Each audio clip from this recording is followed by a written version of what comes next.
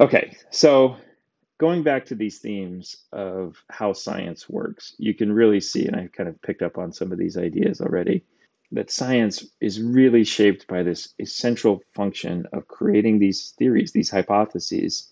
And this is where all the crazy enters, right? This idea that somehow people could be reduced to stimulus response systems is just, on the face of it, just, you know, at, no other word for it. It's crazy, right? There's no way that even comes close to capturing anything about our subjective experience, it had to be evident to these individuals with their own lives that they were not just these simple stimulus response systems. They had all these internal thoughts going on. Were they just shutting out all their thoughts? Did they never dream? Uh, it's just weird to think about what this person would be like. But it just goes to show you how strong these paradigms are and these trends and the idea that this could be like the way that psychology worked um, for a long period of time, and that if you thought about some other way of approaching it involving internal kind of processes, you couldn't publish those papers, right? They had control over the the entire field. So science is fundamentally this kind of human social activity. It's it's absolutely kind of based on on our own the limits of our own creativity coming up with theories and hypotheses. We actually still use the data from the behaviorist time periods, and we use the ideas from the behaviorist time periods. But uh, so it's not like it's wrong, it's just very, very limited. And so this ends up being the understanding of how science progresses. Um, that you you you end up having a very narrow perspective and then building up over time progressively broader, more comprehensive uh, understanding of, of the objective world. So finally, we're going to look at the specific methods that are used in psychology and neuroscience today. Uh, there's three big categories of these, uh, descriptive, correlational, and experimental. And they each have kind of pros and cons highlighted here. So the descriptive approach is good because it's just a way of capturing kind of what's actually happening. You can you can do that in a way that doesn't interfere with the system that you're studying. So this is very often used in anthropology to see how people actually behave in the real world. But it tends to be fairly weak data. It gives you these kind of qualitative, descriptive kind of things. It's, it's almost sort of like the introspectionist kind of approach.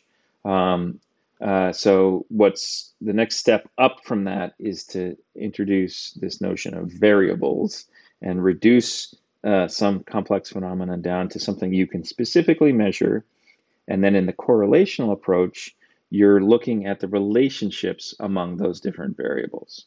And this is still retains this kind of naturalistic approach. You can observe the system and just kind of record these variables and then look at the relationships among those variables without disturbing the system. And so it gives you a good understanding of kind of how these different variables are operating in the real system. But the critical problem with correlational approaches is that they do not tell you about causality. And this is a fundamental problem. Uh, everybody assumes that if you observe a correlation, that there must be some causal relationship among those variables, and that's just absolutely not true. Um, and this is also known as the third variable problem, which basically says that that correlation that you're observing could be due to some other additional variable that you're not measuring, which is actually giving rise to these two measure to two variables that you are measuring, and that that's actually driving the relationship, and that the individual variables themselves have no actual causal relationship. So we'll unpack that and look at that in a sec. But that's the major problem with correlational approaches. Then you have experimental approaches, which are really good for finally figuring out these causal relationships, cause and effect. What is actually driving uh, how the system works. Okay. But the problem with this is that it absolutely requires random assignment. Uh, that's the only way you can get around all these third variables that might be lurking in the background is just to sort of throw random noise at the problem and, and completely uh, break any pre-existing associations among these variables. So you just take each person and put them randomly in one group or another, and then you uh, apply some manipulation to one group and not the other. And if you see a difference, you know that that difference is due to the manipulation that you performed and not due to some of these pre-existing factors. Okay, um, and so that's the fundamental logic of experimental science and experimental psychology. Uh, it's the most widely used technique, but it really has limitations as well because now you can only study phenomena for which you can do random assignment. Can you randomly assign people to be poor versus rich? No, not really, not ethically. Um, you know, the movie Trading Places tries to explore this, uh, but uh, realistically speaking, not really a plausible study. You know, uh, people who have different kinds of eating habits, you have these experiments where they try to manipulate that uh, in, in a random way, but it's very hard. And, and all the studies that we see about health, um, the effects of different kind of lifestyles, all of those are subject to these kind of correlational problems because it's very hard to do a well-controlled random assignment kind of experimental study to look at those kinds of variables. And almost everything having to do with families and development, um, you know, you're born into whatever family you live in, and you can't randomly assign kids to different families, uh, except in, again, a few very weird exceptional cases. So we call this external validity. These studies that we can do experimentally that give us great understanding about the kind of causal mechanisms they may not help us understand what's actually happening in the real world that much. And this is actually a really important problem that you know plagues science, and a lot of people are trying to figure out ways around these approaches. But there are kind of trade-offs, pros and cons for each of these different methods. Okay, so let's let's work through some of these details in the context of a, a real-world scenario, so we can understand how these trade-offs uh, might operate. This is kind of a an artificial case here. There's some weird things about it, but it again kind of captures the interest and hopefully generates some uh, real world intuitions. So the hypothesis is my romantic partner is cheating on me. How do you determine if that is true or not?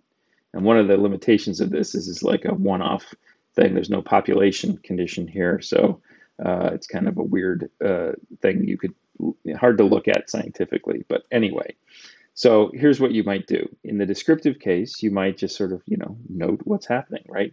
Observe who your your your partner's hanging out with, uh, who they're paying attention to, whether they're acting strange or different to you.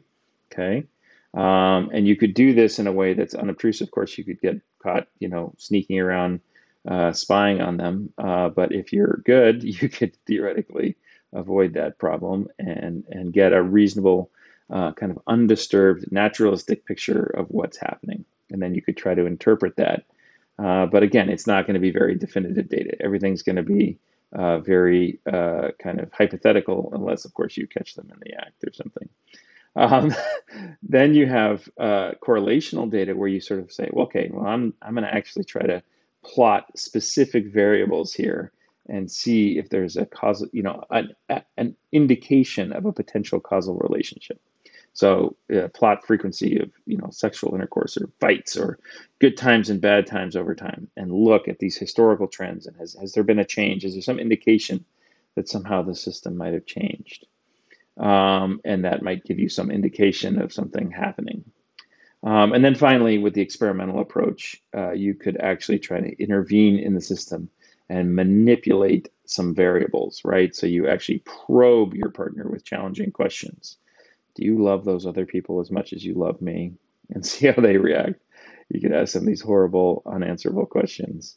Um, uh, you could try a manipulation of having somebody, you know, tempt them into cheating on you, right? Then, then you might know for sure.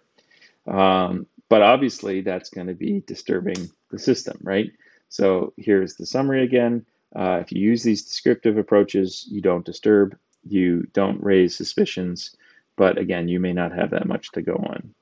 Uh, the correlational approach is also somewhat naturalistic, uh, and it gives you a more precise understanding. But of course, you end up with this problem of the third variable problem. Maybe all of these symptoms are just because you know you've been in this relationship longer, and they're not cheating on you. It's just the natural course of relationships over time, and so you have to take into account that possible third variable of time itself um, and and that might be causing the relationship and not the fact that they're actually actively cheating on you. Uh, and then in the experimental case, you could catch them in the act. You could actually catch this kind of causal relationship, but you might be creating this false truth. You might be creating something that didn't actually exist in the in the original situation. especially you know if your friend succeeds in seducing them. Okay, so basically, bad questions can lead to bad answers, and this is this challenge of external validity. Just to really hammer home this point about correlations, there are so many possible ways in which variables can look like they're related. Okay, so this is a funny example of plotting uh, ratings of Saturday Night Live, you know, this kind of uh, famous TV show, versus frequency of sex per month by age.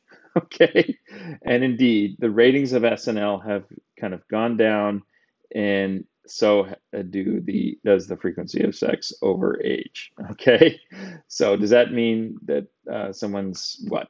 I don't even know what that means, but this is kind of an absurd example. But there are many uh, such possible kinds of relationships that show up. Um, I'll show you later a website that that uh, has many funny examples like this. So again, if you don't get anything else out of this whole discussion, please understand the limitations of correlational data because they really are so frequently reported in the media and they're so inaccurately treated as showing you a causal relationship. Everybody says, oh, if you drink alcohol, you know, you're going to get better health or worse health because this study found a correlation. That correlation does not mean there's a causal effect of drinking alcohol. You have to understand that.